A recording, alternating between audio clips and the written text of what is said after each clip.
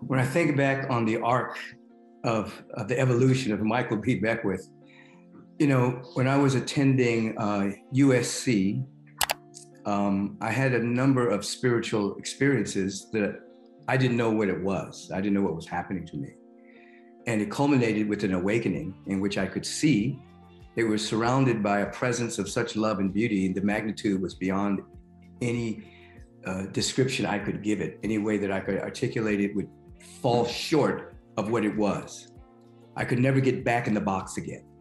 So my life became dedicated to discovering what had happened to me and what this was.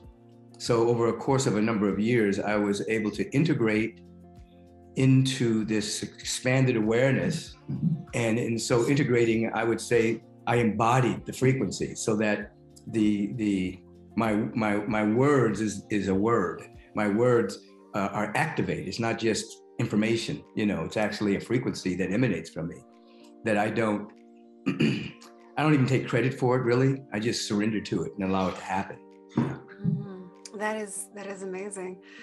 Um, so you have a num you are very quotable. Lots of quotes. So what I'd like to do moving forward with this conversation is just reference some of your quotes that for me personally have really resonated. And I'd love to share those quotes and then uh, ask a question or two. Is that okay? Please, absolutely. Let's do this. Let's, and let's begin with this one. Your quote practice broadcasting the high vibrations of your inner radiance, remembering all the while that the place upon which you stand is holy, simply mm-hmm. because you are standing there. As beings, we have such a hard time with just being. It's not enough to just be. We have to go, we have to do. So, question for you why is it so hard for us to simply be? Well, I think it's it's it's two reasons. One, human beings are most human beings live in the domain of survival, and so there's an insidious uh, fear of not having enough, and so that fear drives people into a state of doing, acquiring, getting, protecting what they get, things of that particular nature. And then the prime, primary reason is people just don't know who they are they have a tendency to relegate themselves to thinking that they're merely the son or daughter of their parents, merely what degrees they have, where they were born, uh, all, all of that. But they don't know their spiritual nature. Until one wakes up to their spiritual nature, there's always um, this insidious perception that's being created by a limited personality. So people are on edge, they're in fear, they're, they're worried all the time, they're, they're anxious is a high level of anxiety. And, and but it, it, that dissipates when one begins to discover their real nature and being through, through some, some level of spiritual practice that allows them to have an insight into that reality. And then things begin to change. Now, I'm not, I'm not talking about being religious. I'm talking about our spiritual nature, which is real. It's powerful, and, it, and it's our real it's our real nature. It's our it's our authentic self. Mm, hmm mm-hmm. Um, you know, the, another one of your quotes that just I, was on repeat in my head for a while is, is this one: "The mute button on women has been turned off." And women everywhere are standing up. As a result, both women and men will be healed. Yes. So, will you take a moment to share why the silence of some can be harmful for all? Well, you know, obviously, historically, the, the dominant culture has oppressed women and people of color for many, many years. And so, without the voice of all of us, individuals that are doing the oppressing, they don't get to grow into their real nature as well. They stay stuck in a very small um, paradigm that's about control, manipulation, force. And so they don't get to grow. They, they stay very, they, they, they stymied, they're stymied in their own expanded awareness. And so as we see the evolution of, of liberation for all people, and in particular women, um, men can't stay the same either. So when the mute button is gone, then men have to grow as well. They have to unfold to their real nature and being.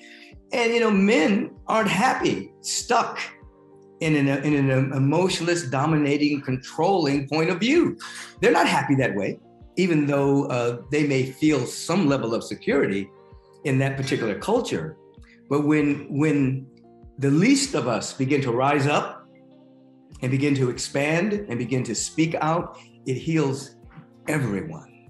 Because the oppressor, the oppressor energy is not healthy and it's not whole and it's not healed. Mm-hmm, mm-hmm. Okay, that makes sense for sure.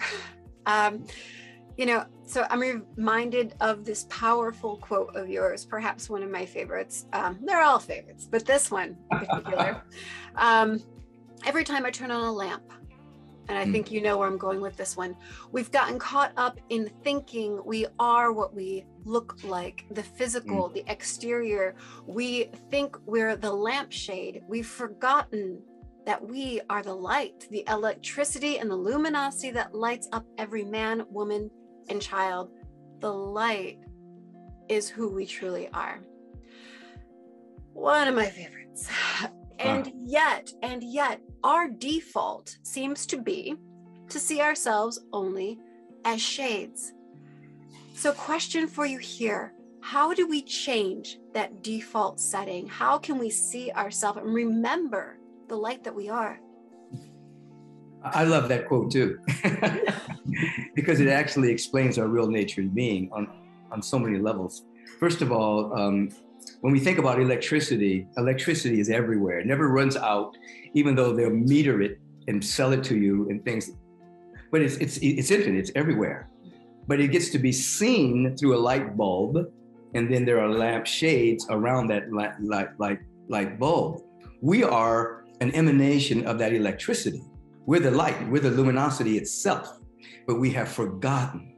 So in order in order to wake up to that, there must be some level of sincerity, that is a desire to wake up to it. There, be some, there must be some level of intention, which leads to a level of spiritual practice, which can include study, it can include meditation, it can include prayer, it can include the yogic practices, it can include how you take care of your body temple. But at a certain point, you have an awareness that you're more than the body. You're more than the color of your skin. You're more than your sexual orientation. You're more than where, what country you were born in. Those are small descriptions, but oftentimes people get, get caught up in the small, limiting description rather than the macro, rather than the large, real description. So what happens is when you discover your real nature, you, you the lamp bulb and the lamp shade is used to reveal the luminosity. It's like uh, we were able to take our eternal nature and paint on the landscape of time and space with the colors of our soul. It's, it's, a, it's a whole different way of living. And so now what do we do? We're radiating. What are we doing? We're shining, we're glowing, we're sharing, we're giving from an inexhaustible source that is within us. But we have to wake up to that, you see? And so people, I like to say, sometimes are dimensionally challenged. They're only living in three dimensions, which is a very small package when they're only living from the five senses and, and are forgetting that we have eyes because we see and we have ears because we hear.